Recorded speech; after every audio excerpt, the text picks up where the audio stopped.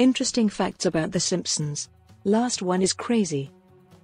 The Simpsons first aired on December 17, 1989. Fox owns the rights to The Simpsons until 2082. U.S. President George Bush once blamed The Simpsons for society's problems. Bart is voiced by a woman, Nancy Cartwright. Bart was supposed to be the main character. Homer Simpson is the most downloaded satnav voice. Would you like more facts about The Simpsons? Like and follow for more videos.